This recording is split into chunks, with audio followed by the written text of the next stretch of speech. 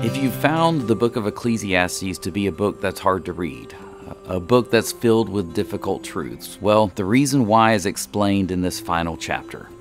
The writer refers to himself as the teacher, and this is how he explains the purpose of this book in verse 10.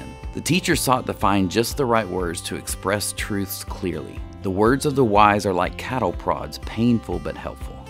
In other words, it's supposed to force us to face the realities we don't necessarily want to think about, so we will live each minute to our fullest eternal potential. In chapter 12, the teacher spends the first half warning us not to wait until we are old to honor or remember God. That's a harsh reality of the fragility and shortness of life, but it's more importantly a challenge to give God our best, our whole lives, from beginning to end.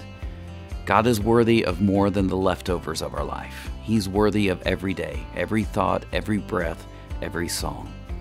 The teacher makes it clear that we will give an account for how we live today, and he sums it all up with just two sentences.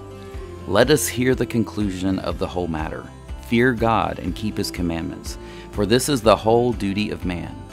For God shall bring every work into judgment with every secret thing, whether it be good or whether it be evil.